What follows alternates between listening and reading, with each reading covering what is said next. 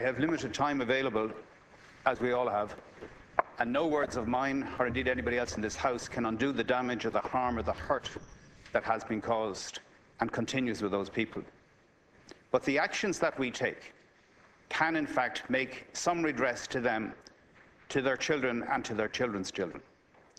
And I appreciate and uh, the point made by the Taoiseach, it's contained in one of the recommendations, that we would have a monument erected containing the words of the apology that the Taoiseach uttered in May of 1999. But Taoiseach and members of this House, I suggest we should go further.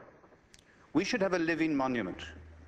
We should have a monument dedicated to those people, some of whom are no longer with us, that contains their stories, their memories, our records of abuse, both clerical and state, our records of inhuman treatment, so that the walking wounded, emotional and physical, that are the people who came to the gates of this assembly yesterday, can be able to point to a permanent record of their hurt, to explain in part to their children and to their children's children why it was that they, with their stolen childhood, could not live full lives as adults.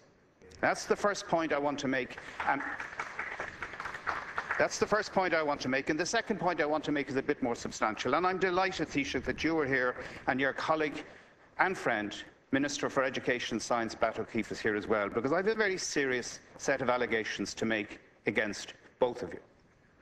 You know, the problem with the Watergate controversy was that the burglary was wrong, but the cover up was worse. And we have compounded our criticism of the religious orders and the church in this regard, and we have let free the horrendous record of the Department of Education that continues up to the present day. That continues up to the present day. We have castigated in financial terms the regulators for the failure to regulate the banks. But the Department of Education has got away scot-free in many respects and continues to get away. And I put it to you, Minister, and it is for you to refute. And it, you will know from my persistent questions that it is not for the want of trying on my part to establish facts free of prejudice.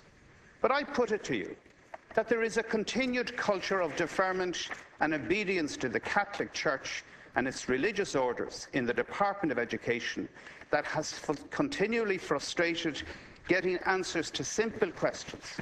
Simple questions. And I will give you three examples, Steve. 26th of the 2nd of this year, I asked the question, if we will enter into talks with an organisation detail supplied, CORI, some of whose members as teaching orders are the legal owners of many of the primary schools, etc., etc. The answer that I got was that the, he would not, and that the information as to who owned what school of the 3,200 across the country was not readily available in a format easily accessible. That was February. On the 10th of March, three questions to the Minister, and of the same amount. I had asked him if he will identify by name, roll number, location the Roman Catholic diocese, each primary school in the ownership of a religious teaching order or a Roman Catholic bishop.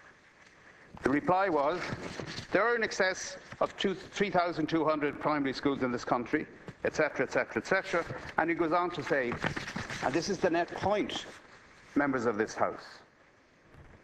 The information in relation to school site ownership and property details in would have been received by my department over a long number of years, and the legal documents relation to the interest of the state in buildings constructed on sites not in the ownership of the state are generally held in individual files as distinct from a central database. Accordingly, accordingly, the information requested by the deputy is not readily available in a format that is readily achievable.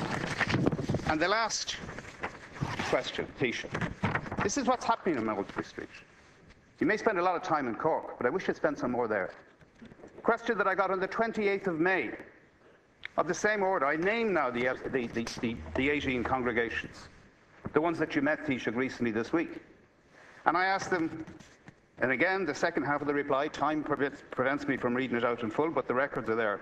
These schools are privately owned, and as such, the information sought by the deputy is not readily available in a format that is readily retrievable. You don't even change the text. The legal documents relating to the interest of the state in buildings constructed on sites not in the ownership of the state are generally held on individual files as distinct from an central database. Taoiseach and Minister, either officials in your department are members of secret societies such as the Knights of Columbanus and the Opus Dei, and they have taken it upon themselves to protect the interests of these clerical orders at this point in time in this year, 2009. Or alternatively, you are politically incompetent and incapable of managing the Department of Education.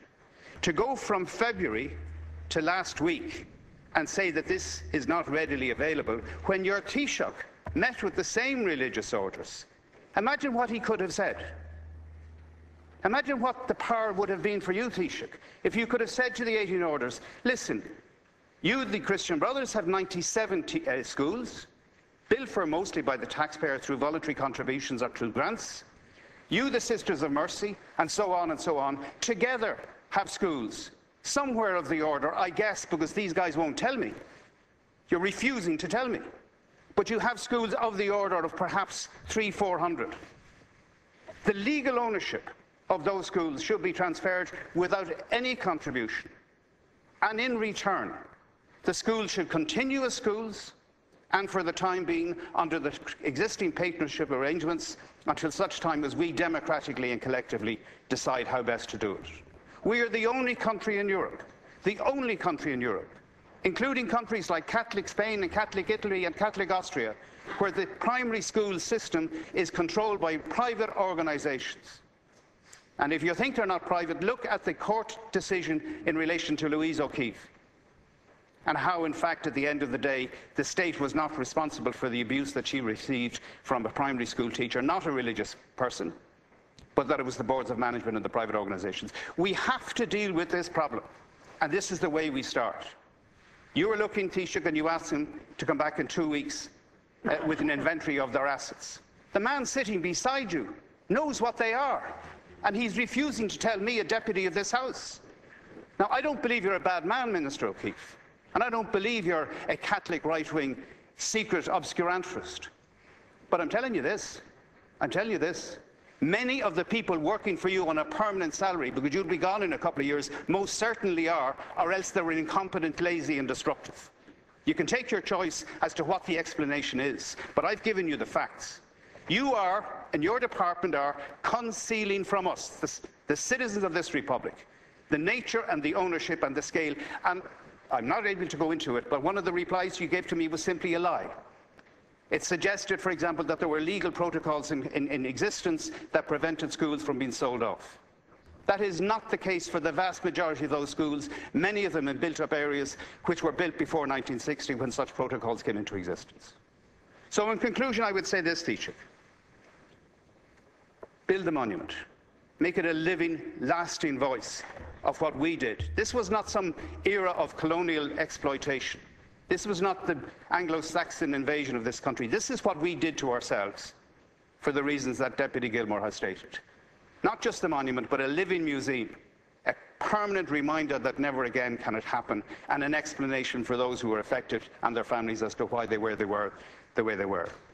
But on the second point, what we learn for the future. We need to take these schools. We need to take our entire primary school infrastructure into public ownership. We are paying for them. We are funding them. We need to get the kind of management controls that are necessary to bring us into line with every other European country. Every other European country. We need to do this. You have a golden opportunity. The value of 500 schools at two, three million a, a pot each is close to a, a, a billion. It will go a long way in the eyes of the public. It would go a long way to saying we are sorry for what happened and for our consistent denial and refusal to recognise our responsibility. And it would ensure that whoever is Minister for Education in the future has a rational control of the infrastructure so as to get the best productivity from that infrastructure. They're the two points I want to make, Taoiseach. But I would say in conclusion, Epa Minister O'Keeffe, you have a serious responsibility to either manage that department moderately and effectively are to root out the obstruction that is manifestly evident in the consistent replies that I've been getting from you over the last year.